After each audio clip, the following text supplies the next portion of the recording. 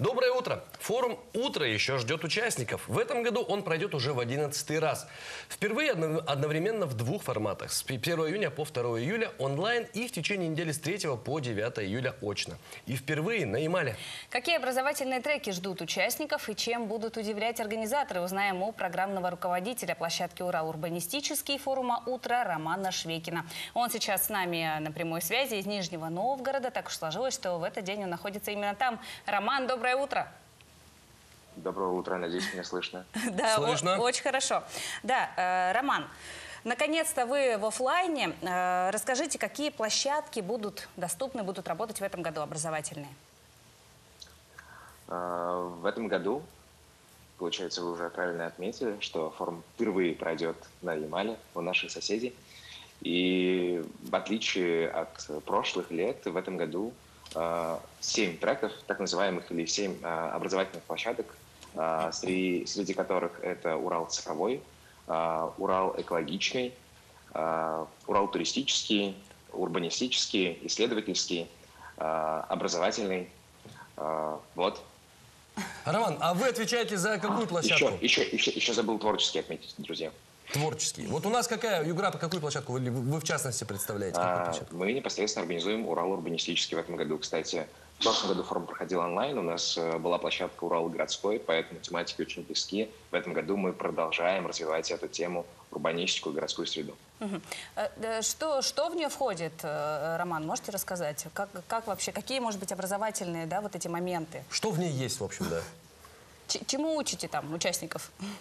Ну, вообще, на на мой взгляд, это суперпрактическая площадка, э, где участники в этом году смогут э, создать, э, точнее, решить несколько кейсов. В этом году э, хозяева э, форума молодежи Уральского федерального округа «Утро» э, решили провести в- форум именно в виде кейс-чемпионата.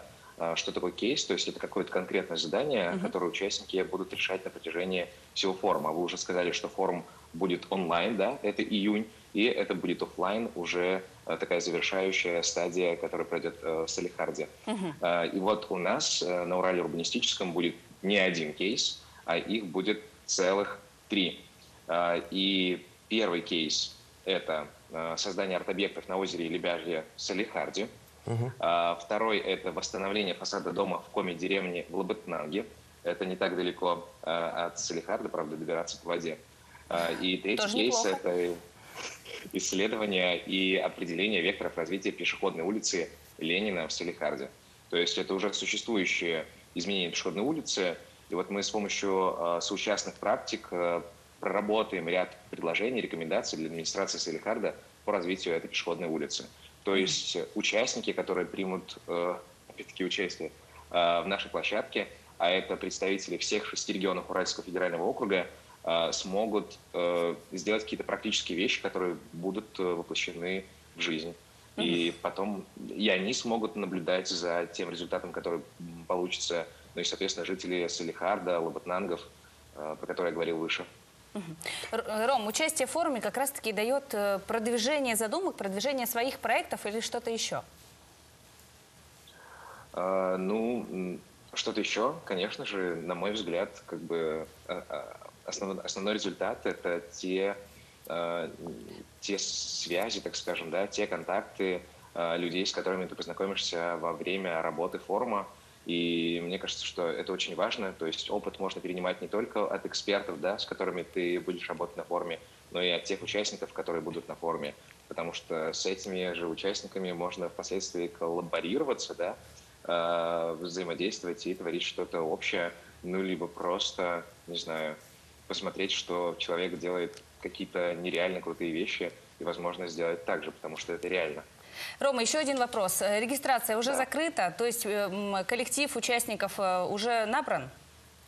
На самом деле здесь стоит обрадовать участников, потому что э, мы должны были с вами сегодня созвониться, и я должен был сказать о том, что регистрация закрыта, но э, дня два назад регистрацию продлили до 24 мая, поэтому дедлайн 24 мая еще можно успеть подать заявку на, на АИС «Молодежь России». Э, заполнить, прикрепить творческое задание. Творческое задание очень простое, оно, кстати, у разных треков разное, но на нашей площадке Урал Урбанистический нужно просто м, написать о том, почему ты выбрал именно этот трек и что тебе это даст. Роман, спасибо большое за очень информативную беседу. Мы желаем творческих успехов. До свидания. Спасибо. Всего До хорошего. свидания. Пока.